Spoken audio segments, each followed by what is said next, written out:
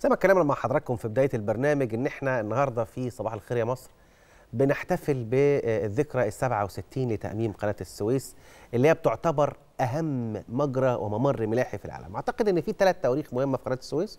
التاريخ ده اللي هو تاريخ التأميم وأيضا التاريخ الخاص ب 2015 افتتاح المجرى الجديد وأيضا تاريخ بتاع ايفر جيفن اللي العالم كله اتكلمنا عليه في المقدمة يا جمانة وبص علينا وشاف إحنا بنعمل إيه من وقتها بنتكلم إن قناة السويس حصل فيها تطوير كبير جدا بتواكب مع تطورات صناعة السفن ومع حركة التجارة البحرية العالمية. بكل تأكيد لكن إحنا بنتكلم عن الطفرة الكبيرة اللي حصلت في قناة السويس بدأت مع إنشاء القناة الجديدة وخطة التطوير اللي حصلت بعد كده وكمان اللي ساعدت في مضاعفة إيرادات القناة وفي نفس الوقت الحفاظ على مكانتها الدولية كأهم ممر ملاحي في العالم. إحنا معانا دلوقتي على التليفون الفريق أسامة ربيع رئيس هيئة قناة السويس. صباح الخير على حضرتك يا فندم وطبعا في البداية كل سنة وحضرتك طيب. أنتم طيبين يا فندم أهلا وسهلا. أهلا بحضرتك أهلا وسهلا سيادة الفريق. كلمنا في البداية يا فندم عن يعني وإحنا بنحتفل النهارده بذكرى 67 لتاميم قناة السويس. لو اتكلمنا عن أهمية هذه القناة كأهم مجرى ملاحي في العالم نقدر نقول إيه؟ كيف ترصد وكالات الأنباء العالمية هذا الأمر؟ كيف ترصد الصحف العالمية وجود ممر قناة السويس كأهم مجرى ملاحي في العالم؟ وبحط تحت دي كذا خط.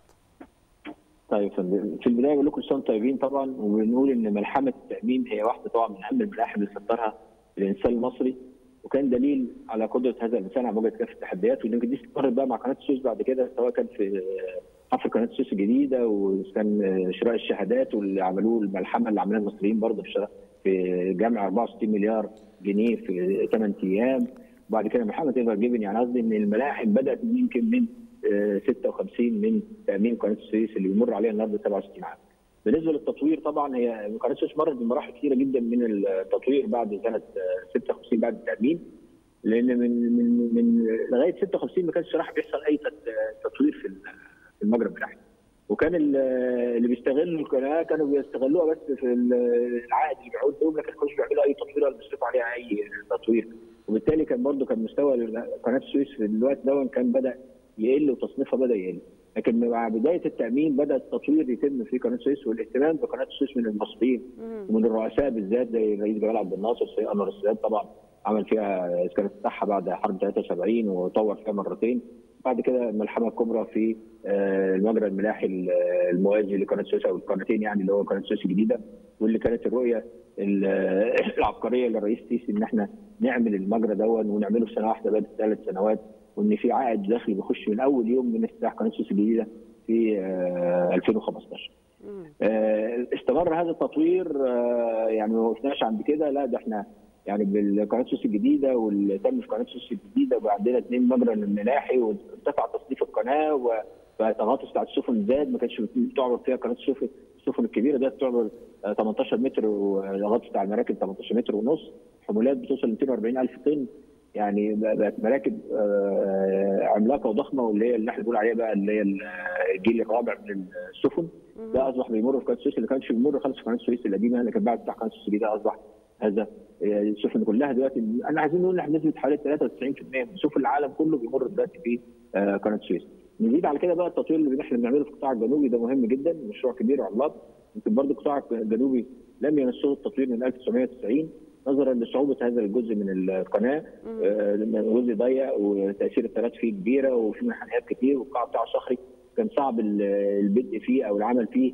لكن إحنا اقتحمنا الموضوع ده طبعا بدعم سياده الرئيس وتصديقه على هذا المشروع اللي إحنا شغالين فيه دلوقتي إن شاء الله ينتهي في آخر السنة دي. ان إحنا بنعمل فيه تعريض للقناة في الجزء ده لأن الجزء ده كمان كمان العرض بتاعه كان حوالي 230 متر 250 متر كان ضيق وحصلت فيه الحادثه كمان بتاعت ايفر جيفن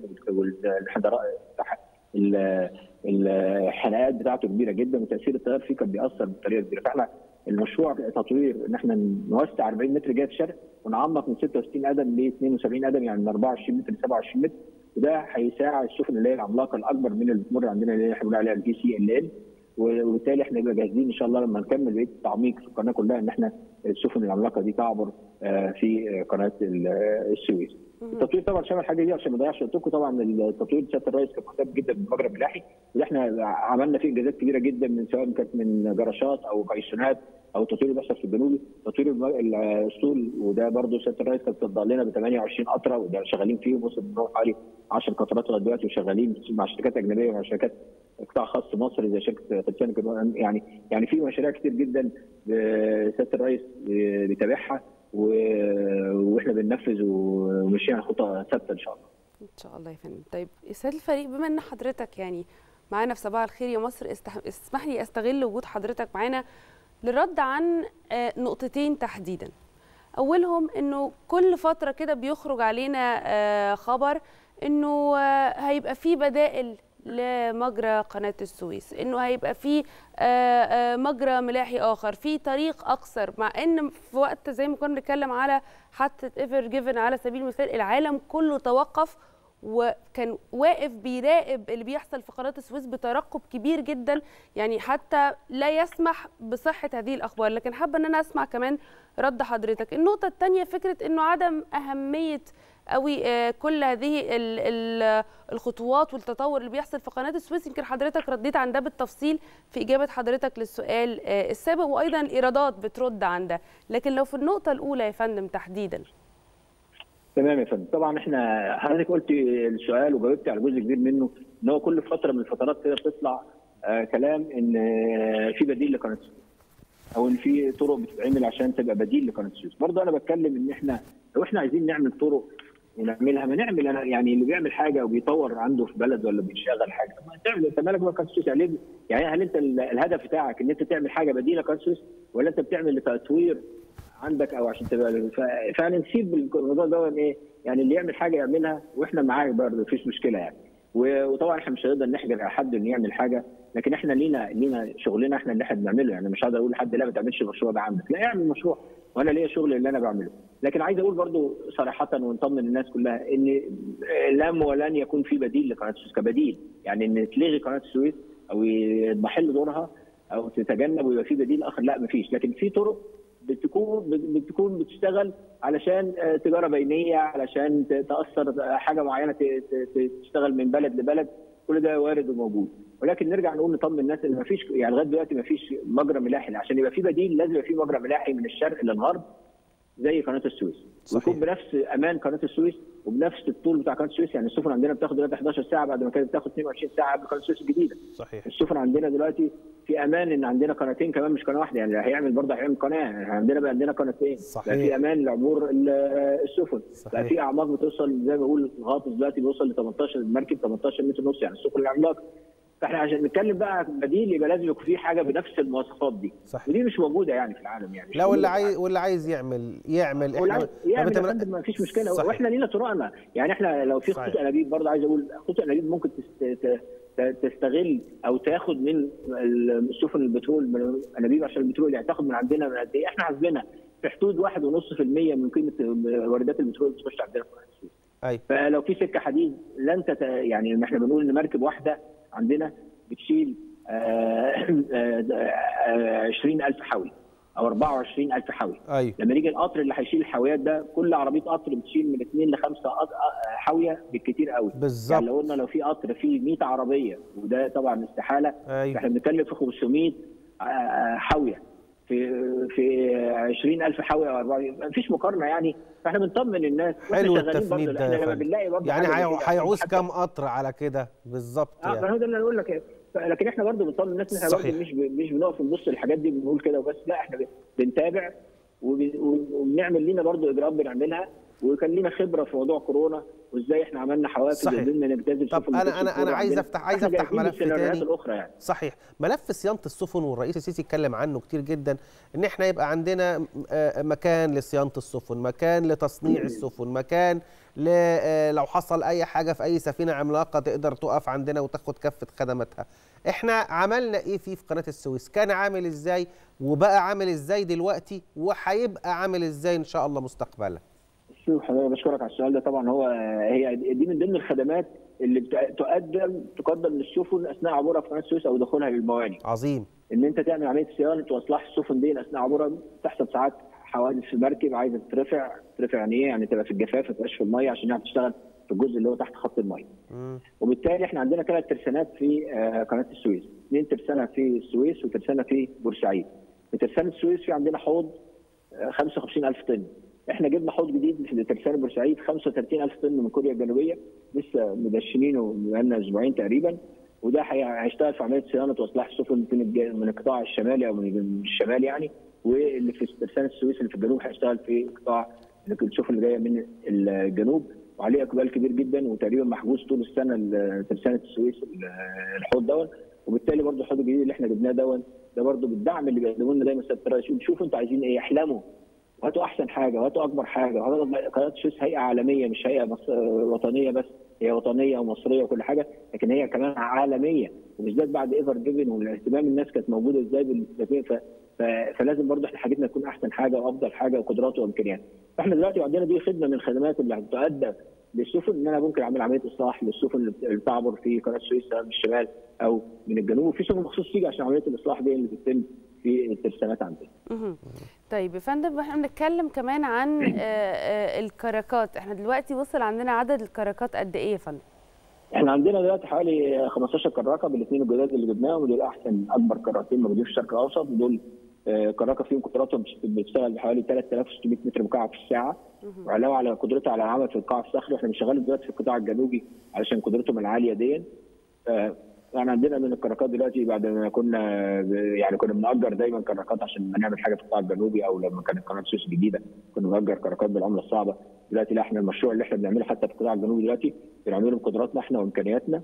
وبالتالي ما بن- ما بن- ما بندفعش عملة صعبة على إن إحنا آه، نأجر آه، كراكات ودي طبعا من الميزانية الاستثمارية بتاعت قناة السويس يعني حتى الفلوس كمان ما بتتاخدش من الميزانية اللي تروح للدولة. لا دي من الميزانية بتاعت قناة السويس وإحنا ماشيين الحمد لله في المشروع ده كويس وبنقدم فيه خطوات جيدة يعني. أنا أعلم جدا إن المنطقة الاقتصادية لقناة السويس حاجة وهيئة قناة السويس حاجة تانية ولكن ما ينفعش النهارده أتكلم على التأميم وما أتكلمش عنها. ما عندنا مشروعات عاملة إزاي وح... وهنوصل لفين فيما يتعلق مشروعات الطاقة الهيدروجين الأخضر مصانع السيارات؟ كلام كتير جدا نتكلم على المنطقة الاقتصادية. يا فندم عايزين نعرف تفاصيل عنه وإحنا النهارده بنحتفل بتأميم قناة السويس. تمام برضه نربط دي بعد إذن حضرتك بإن لما اتعملت قناه السويس الجديدة ما كانش مقصود بيها قناه السويس الجديدة بس كان مقصود بيها كمان المنطقة الأقتصادية والهيئة الأقتصادية اللي هتفتح الطريق آه، على شرق بورسعيد للهيئة ال- الأقتصادية. وبالتالي بقى عبور السفن بقى بيعبر قناة السويس ويخش الهيئة الأقتصادية أو يخش ال- شرق بورسعيد وبعدين يعبر قناة السويس واتعمل له مجرى مخصوص للموضوع دوت. واتعملت بنية تحتية على أعلى مستوى في آه، شرق بورسعيد يمكن اتخذت خدت مدة كبيرة يمكن ده اللي أخر المشروع شوية يعني انه ما مشيش بالتناغم مع قناة السويس لأن التربه في المكان ده صعب كانت عايزة عملية إحلال فخدت وقت كبير جدا والهيئه الاساسيه عملت فيها مجهود جبار علشان نوصل للي إحنا عملناه دلوقتي. كل دي كانت توجيهات سياده الرئيس إن إحنا يبقى عندنا قناة السويس الجديده وعندنا الهيئة الاقتصادية وعندنا تنمية سينا وبالتالي اتعملت كمان المحاور للعبور من الغرب للشرق اللي هم الخمس آه، أنفاق اللي اتعملوا اثنين في بورسعيد واثنين في الإسماعيلية وواحد في السويس علاوه على الموجود.